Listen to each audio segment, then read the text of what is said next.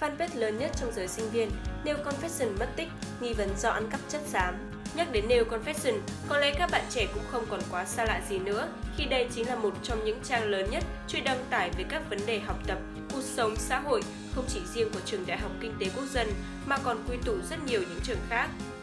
Thế nhưng, trong ngày 6 tháng 4, cộng đồng mạng đã rộ lên thông tin trang fanpage này bị report dẫn đến bay màu. Qua xác thực, quả thật fanpage hơn 3 triệu like này đã không còn được tìm thấy trên thanh tìm kiếm của Facebook. Nguyên nhân dẫn đến việc trang cộng đồng mạng bị tẩy chay được cho là có liên quan đến việc ăn cắp chất xám, sao nấu các bài viết hay đăng những thông tin sai lệch không có thật.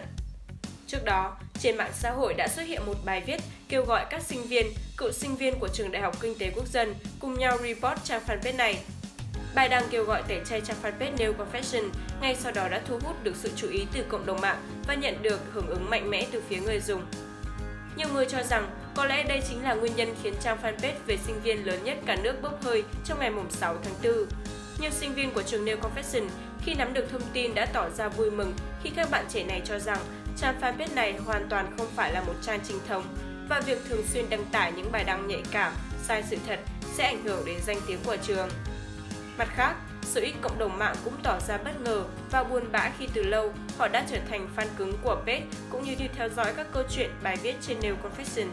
Thông tin từ phía đại diện trường Đại học Kinh tế Quốc dân cho biết, New Confession hoàn toàn không phải là một trang do trường thành lập mà là do một nhóm các cựu sinh viên của trường tạo ra.